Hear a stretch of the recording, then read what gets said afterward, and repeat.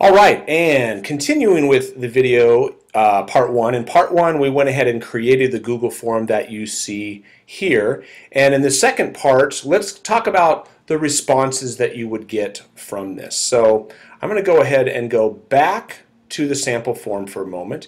And if I click responses here, you'll see that nobody has done anything with the responses yet. And then right over here, we have the little sheets, a little create spreadsheet button. What we're going to want to do is click that and that gives us the little window that says create a new spreadsheet and we're going to go ahead and create a new one.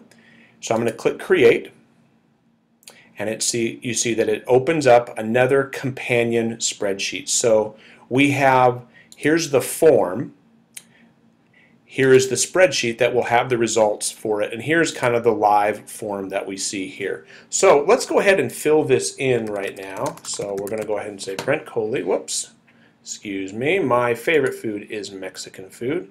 And let's click submit.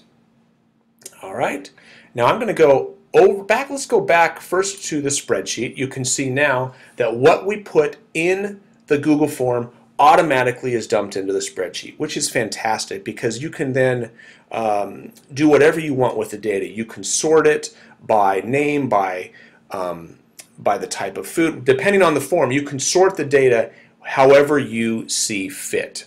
Um, and the nice thing about the new forms, if I go back here, you'll now see, again, here's the questions that I made, but in the new forms, you can actually click on responses and see the responses actually within the form without having to go to the spreadsheet. And this is broken down into two different things. You can see there's a summary. So right now only one person has done it. That was me.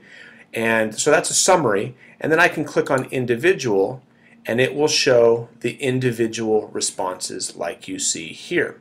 So let me go back to the form and let's submit another response. So let's say this was Sally Smith and Sally loves Indian food and we're going to click submit. And there we go. So now I'm going to go back to the spreadsheet. You can see that Sally's information has been put in here. Once again, if you're not familiar with the forms and the sheets, it's automatically timestamped. You don't even have to worry about that. It tells you exactly when a visitor uh, submitted the form.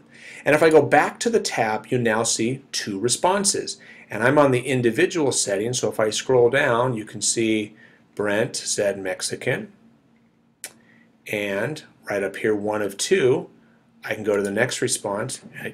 Goes Sally Smith, and it tells you what she did. So this is a really nice new feature of Google Forms. So in the next video, I'm going to show you how to do a little more customization, adding videos and things like that.